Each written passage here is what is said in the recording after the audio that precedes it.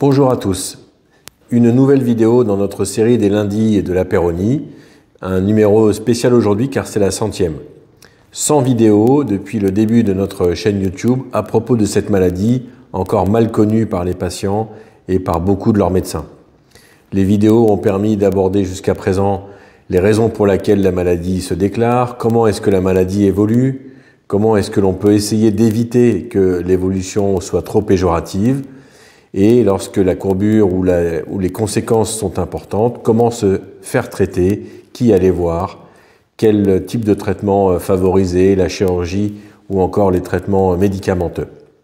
Au vu des questions qui nous sont posées jour après jour euh, à la suite des vidéos, euh, on peut déjà considérer que cette chaîne est un succès, qu'elle répond à des questions que vous vous posez, et j'en suis très heureux. Je vous invite à continuer à poser vos questions en commentaire des vidéos afin que l'on puisse vous y répondre quand il s'agit d'une question simple ou encore que l'on puisse faire une vidéo pour vous répondre lorsqu'il s'agit d'une question qui lève un problème que l'on n'a pour l'instant pas euh, évoqué dans les précédentes vidéos.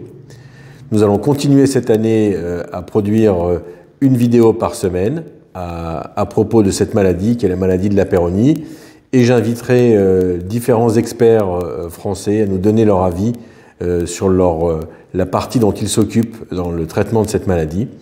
Je souhaite donc euh, vous voir encore euh, nombreux cette année, me poser des questions et nous suivre sur les lundis de la Péronie. À bientôt.